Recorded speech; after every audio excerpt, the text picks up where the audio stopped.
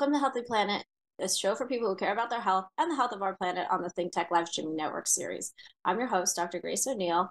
Joining me today are Rae Okawa and Dr. Juan Guerra from the Hawaii Wildlife Center. Welcome, Dr. Juan and Rae. Thank you for being on the show. So, first, why don't you tell us, Rae, about what you guys do at the Hawaii Wildlife Center? Sure. Thank you so much for having us. We're really excited. I love talking about birds. I can talk about birds all day. So, really thrilled to be here. Uh, Hawaii Wildlife Center is a conservation organization dedicated to the care and rehabilitation of all species of native winged wildlife. So as long as it's native to Hawaii and it has wings, it's all you know, we we care for it at our facilities and and our partner programs. And we're really dedicated to a world where native species thrive. So they're among us, and as their populations hopefully continue to recover, we want to be able to provide a resource to allow them to thrive among us. And, you know, we want them to coexist, but also thrive. And that means on the individual level, taking in sick and injured uh, wildlife, making sure that they're healthy, making sure we address not only the primary issues, but any secondary issues, and making sure when we release them that they're just tip top shape and ready to be on their own in the wild. Mm-hmm. And um, on the same kind of the same goal, uh, on the opposite end, on population levels too, you know, we want to really preserve the genetics of these populations that we're, we're working with. And also, we want to share all the information about native species and what makes them super cool and why we need to save them and you know get people excited about being in conservation and saving these species that's wonderful. So you guys have a resident vet, uh, Dr. Juan Guerra. So um, can you tell us, Dr. Juan, what it's like being the veterinarian at Hawaii Wildlife Center versus like a regular vet? What kind of work you do day to day? Yeah, I mean it's it, it's very it's very exciting to work here at the Hawaii Wildlife Center. I mean, definitely I enjoy the um, everyday veterinary work, and I still do a little bit on the side. Uh, but um, but as far as helping wildlife, uh, there's a certain sense that you know these species, a lot of them are threatened, several of them are endangered. Uh, so uh, getting the sense that I can put the skills that I learned in vet school to uh, uh to help this cause, uh, it, it, feels really good. So, how did you start getting interested in birds and bats and doing the kind of work you do? Did you always know you wanted to do this kind of work versus being a veterinarian for pets or like a zoo vet? Was there like a specialty for this kind of thing? Uh, no, my, you know, I, I would, I would start out by saying I'm actually very lucky. There's definitely a lot of veterinary students that would love to do what I'm doing, and and that's one of the things that we do. We get vet students here to help them get the experience they need. Uh, but uh, in vet school, usually in most places, you learn a little bit about all the species. And just for fun, I ended up taking classes on uh, avian anatomy and medicine, and it was kind of just like a side interest of mine. Uh, and then when I moved to the Big Island in 2016, I was working in the mixed animal practice in Waimea. And then I got recruited by the Wildlife Center to be their primary care volunteer veterinarian at the time. Uh, didn't really necessarily feel, feel qualified at the time, uh, mm-hmm. but they knew that I had taken classes and had gone to conferences. Uh, and and that's how it started. And uh, I kept on continuing to try to get experience on my own by going to conferences, helping out at the Wildlife Center, and and then eventually a position opened up here, and, and that's my main job at the moment. Wonderful. So, um, how about uh, you, Rae? Uh, you're the development director. So, do you mostly focus on education of the, you know, just children, just meet, you know, people about Hawaii wildlife, or what is your focus at the center? Mm-hmm. I, I would say I'm the staff bird nerd. Um, as the development director, I actually, my primary function is to make sure that we have the funding and partnerships in place um, available to keep our doors open. But I'm primarily like, I by training, I'm a field biologist. turned fundraiser. you know, so I kind of miss being out in the field sometimes, but you know, seeing the impact of the funds that I'm able to bring in and how that's helping wildlife, that's that's the reward. Uh, but I'm born and raised on Oahu, uh, still have family in Aiea. And, you know, I, growing up, you I would see a lot of birds, you know, and looking at them and trying to figure out where they're from and finding out that most of the birds that I was seeing were introduced and that kind of sparked the interest on, you know, what, well, what actually is native.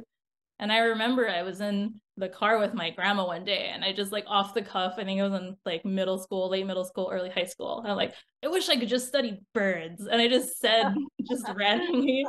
Um and my grandma told me like, oh well ornithology is a thing. So that, and then yeah, it just it just grew from there. Uh, I went to get my master's uh, on the on the continent but I knew I wanted to come home to Hawaii. So I was really fortunate to connect with Linda, our center director and founder of the organization. And she gave me a, an opportunity to come home and work in conservation with birds. So I am also extremely lucky and grateful. nice. So you, I, I guess you had mentioned before about the native birds and not knowing which ones are native because a lot of them are introduced. So can you kind of tell us which birds are native and you have some pictures as well so we can run through those. I do yeah so it, and it really depends on where in hawaii you're located too you know what's in your area but one on oahu that's pretty common that's pretty spectacular is the manuoku the white tern and they have such a following they're such charismatic birds. You know it's so rare to see native seabirds thriving in downtown Honolulu or flying through Chinatown. So seeing that is really um, a unique thing. And it kind of shows that there is hope too for species, native species to thrive among us. Um, and if we just take the time to learn their life histories and what makes them so cool, um, it's it's really a great uh, tool for conservation. Okay, so these birds are really cool. They do not make nests. So when it's time to have have their babies lay their eggs, they find a really nice flat or cupped branch and they just plop that egg right on the branch. And as soon as that baby hatches, it just has to hang on. So if there are high windstorms or he has a case of mm-hmm. happy feet, you know, sometimes he'll fall out of the tree. And luckily, there's a really great citizen group, the Hui Manuoku, that works very hard to get these babies back to the parents because the parents always know best and know how to raise their chicks. But in the cases where the chick is injured or unable to be reunited, we do take those babies in, raise them here, and then send them back to Oahu for what we call a soft release. These guys get a soft release. Um, hard releases are like what you typically see. You bring a bird to the beach, you release them, you say, good luck, you know, and that's it. but for Manuoku, they need to learn how to be a bird. And they need to do that from their peers because we can't teach them that. So we send them to Oahu. Uh, we have a satellite facility there. We work with the Honolulu Zoo. They have a soft release tree. They put the baby in with um, wild terns around them, and then they'll go out and they'll learn from their peers how to be a how to be a proper tern. Uh, we provide snacks uh, part of this part of this program, but once they're like fully sufficient, they don't need our help anymore. They don't need our snacks, and they stop coming back. Good. What kind of snacks? Like, what do they eat? Fish. Little. Usually, we do little smells. Mm-hmm. Mm-hmm. So, what kind of injuries do you see on these uh, birds, uh, Dr. Juan? Uh, specifically, the Manuoku. Mm-hmm. Uh, you know, I think to see where you could go to Manuoku first. Yeah, you know, with mono, and, it depends on the species. That's why I, was asking. Uh, with Manuoku, thankfully, most of them are healthy orphans. We're just not able to reunite them with the parents. Uh, so the process is, uh, you know, it's still a lot of work, many days, many, many feedings per day, but usually no medical issues that we have to deal with. Occasionally, they do come with some intestinal parasites that we have to take care of. And then a couple of times there are injuries from uh, falling down from the tree uh, that we have to work with, either whether it's um, uh, uh an injured wing or an injured leg. Uh, so those would be the most common things for mono How about the other birds? Uh, what kind of injuries do you work with on the other birds? Yeah, for other birds, for for example, uh, on Oahu, we also get several uh, red-footed boobies, uh, as well as uh, brown boobies. Those ones tend to be more collision injuries. They're flying around and they'll hit something, and, and it can be anything. Uh, either a building, a power line. We even once had a bird that hit a windsurfer while they were out in the water. Oh and the windsurfer was okay, and eventually the booby got released, so everything was okay. So you know, those can be uh, just soft tissue injuries, an area of swelling in the wing. Sometimes it can be a cut that we have to suture, and sometimes more severely we have a fracture, etc. So that's those would be the injuries that we see with boobies.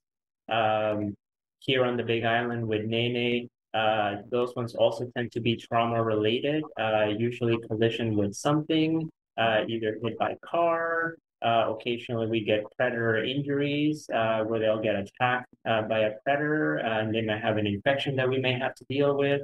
Um, predators and, do they have? Um, I, I didn't realize they have predators. Well, oh, predators. You know, here on the Big Island, it's probably going to be mainly mongoose and cats that might go after them the Nene are usually pretty uh, big enough where they're not, uh, they can fend for themselves. So what we tend to see more with Nene is that they'll have puncture wounds and then those wounds will get infected from the bacteria in the mouth. So we've seen that sometimes. Um, and yeah, and we have many other species. Uh, Io, the main problems with them, again, it's going to be uh, Hawaiian hawk. Um, uh, collision. So they'll either hit something, they'll hit a window or a building. Uh, unfortunately, some of them are also have also been shot by people. Uh, so we are trying to raise awareness of, uh, you know, why these birds are important and they're not pests and we should learn to uh-huh. live with them. Uh, so those are some examples of the injuries that we see. Are they hunters that shoot them for food? I mean, I don't really understand why anybody would. I mean, I guess um, it, People we're not sure, you know, it's, yeah. it, it's hard to know. Uh, on our end, we mostly uh, find out by x-rays and we see metal shards. And sometimes we find bullets. Uh, I know that DOFAW, uh, the Division of Forestry and Wildlife, is uh, we provide all the information to them for them to look into why uh, the birds are being shot. Mm-hmm. Is there a penalty for that if it's an endangered species? a native yes, bird? Yes, there's a, I mean, even if it wasn't classified as an endangered species, they're still covered under the Migratory Bird Treaty Act. So mm-hmm. shooting any, you know, native species is is illegal.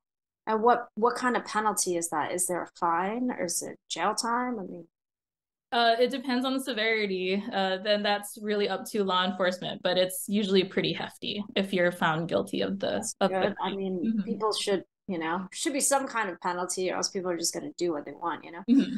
yeah. um, so let's go through some of the other pictures so you can tell us about some of the other um, native birds if you can run through the other slides yeah so yeah we're these are our wedge-tailed shearwaters and you know they're they're on the pool they're from fallout and we really want to again we want to make sure that they're in healthy you know tip top shape so not mm-hmm. only does that mean the physical injuries or any issues, neurological trauma, all of that is rectified. We want to make sure that they're behaving like normal birds. So we have a whole list, a checklist of criteria that the bird needs to pass or the patient needs to pass before we actually release them.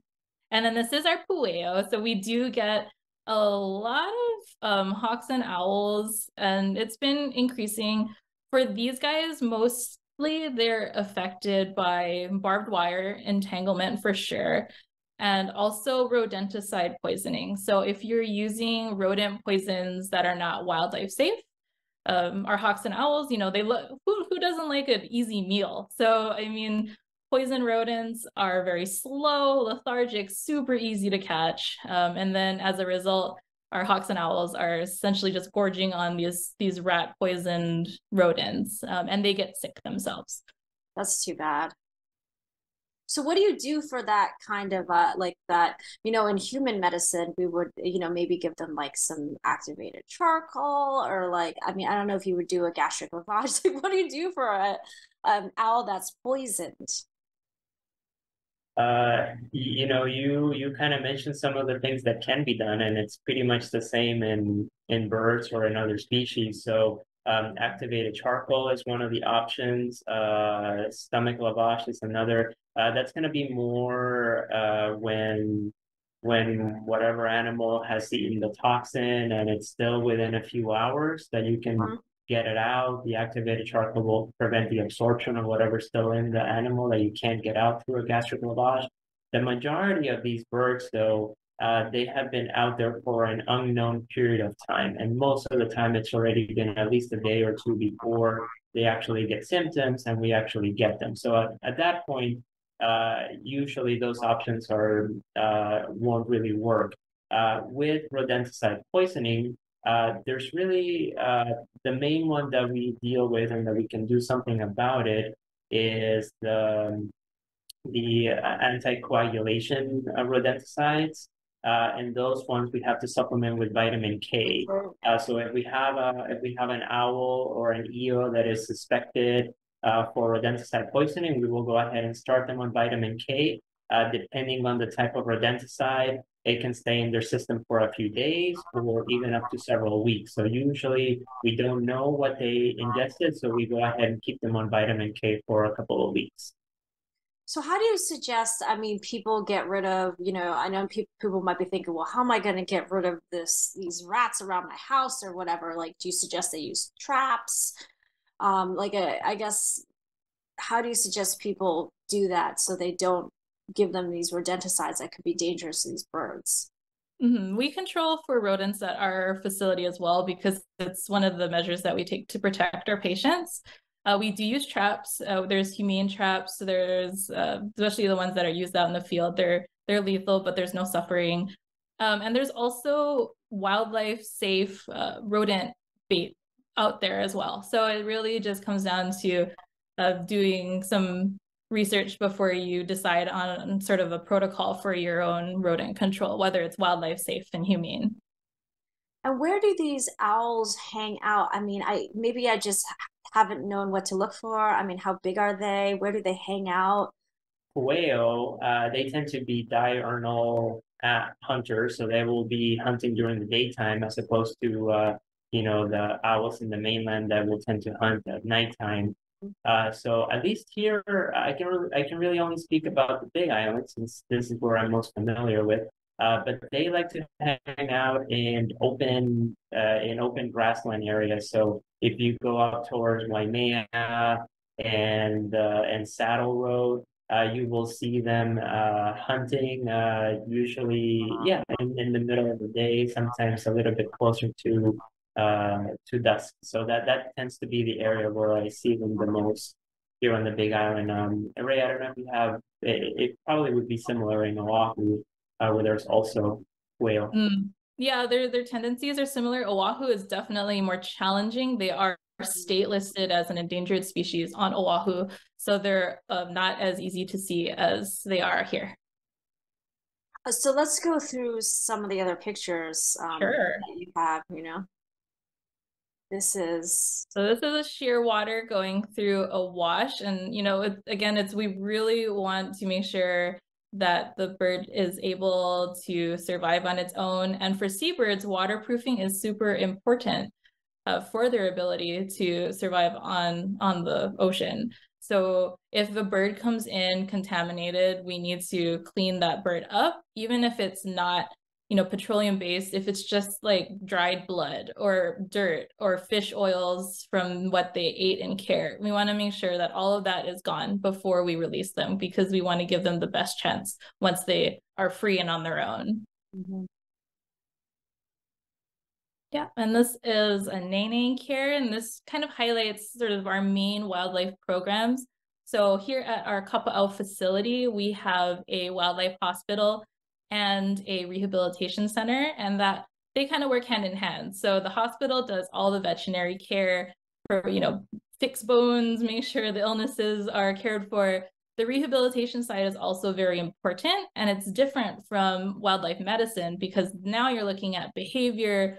You're like it's like when you break a bone and you have to go to physical therapy afterwards. It's kind of like yeah, together. they they make the complete regimen. Uh, so we have our our uh, physical therapy, you know, mon- monitoring behavior, monitoring muscle mass, making sure they're exercising, sometimes begrudgingly, um, but you know, making sure that that bird is strong and able to go.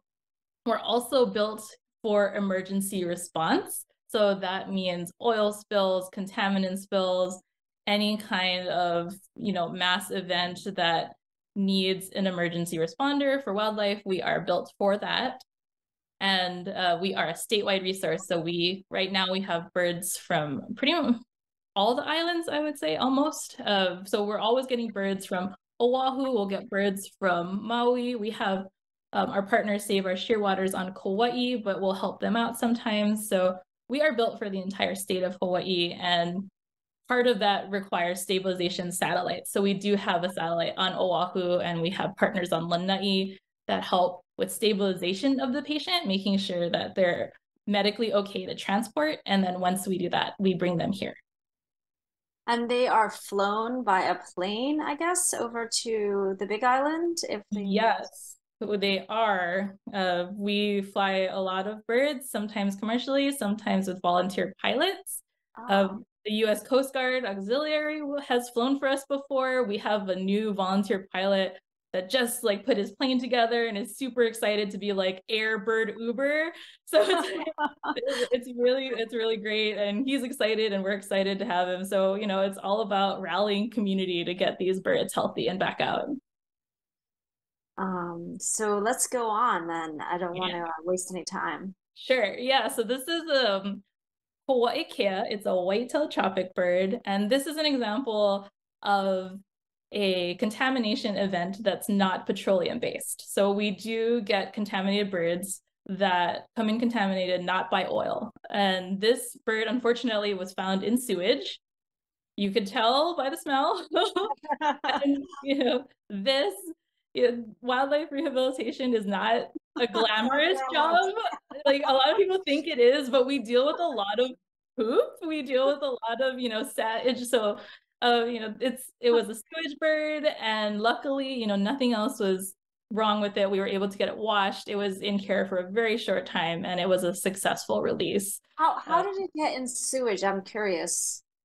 I don't know. These birds get into trouble a lot. We've also got muddy ones. Um, it really like is sewage like just in the sewage plant or I mean how Yeah, birds love the wastewater treatment plant. Like the wastewater treatment plant here in Kona is a birding hotspot. It's like why? Yeah. That's I mean maybe because of the it's, it's, um, water, it's water. It's you know, it's like a it's a wetland. Oh birds are birds are around us and they utilize the environment how they can. And Dr. Juan, can they get um, some diseases from humans from swimming in the sewage? I'm sure that's not really good for them.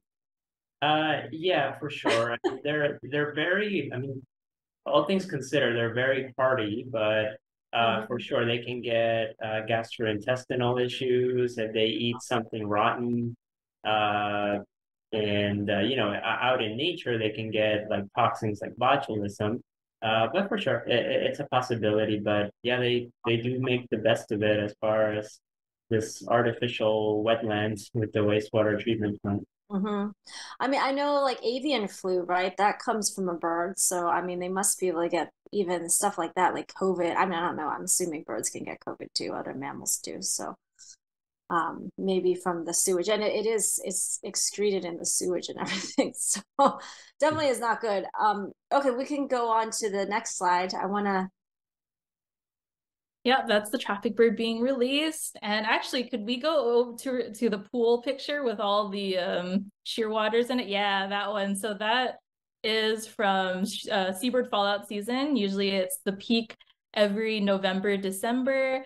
And during this time, the young wedge-tail shearwaters are taking their first flight out to sea. And the way that they've evolved is they know how to they know where to go because they follow the light of the moon.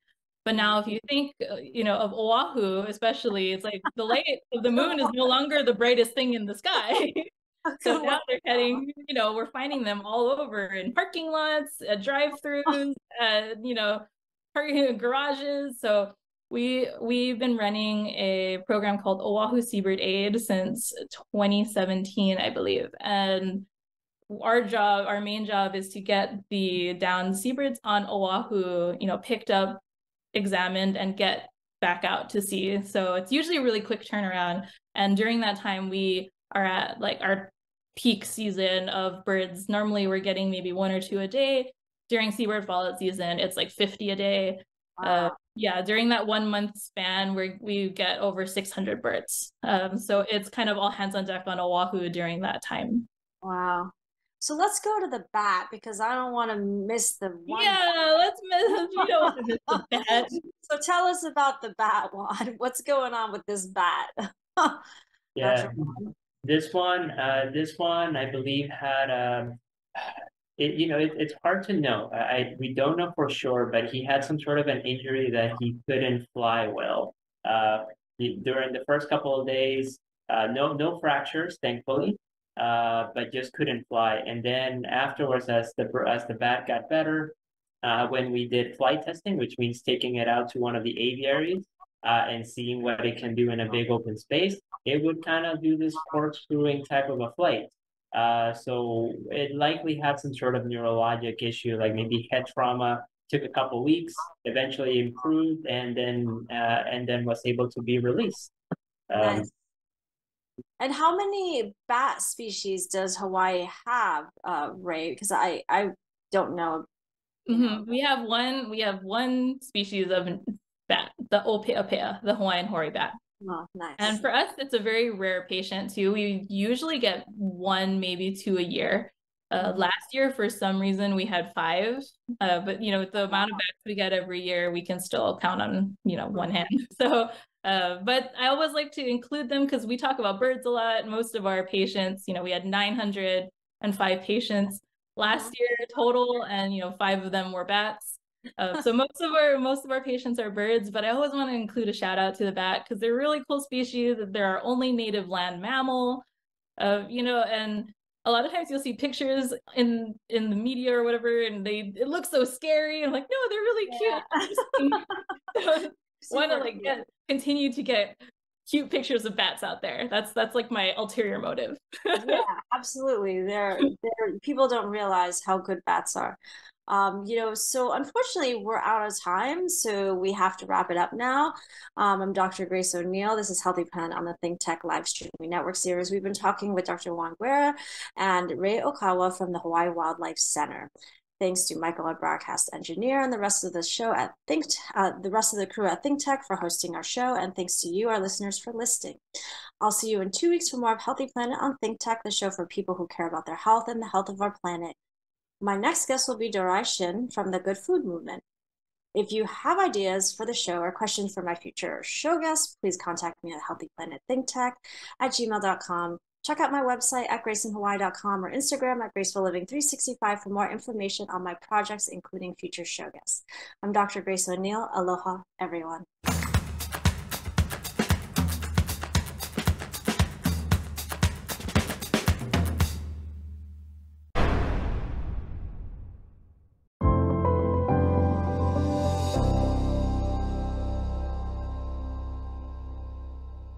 Thank you so much for watching ThinkTech Hawaii. If you like what we do, please click the like and subscribe button on YouTube. You can also follow us on Facebook, Instagram, and LinkedIn. Check out our website, thinktechhawaii.com. Mahalo.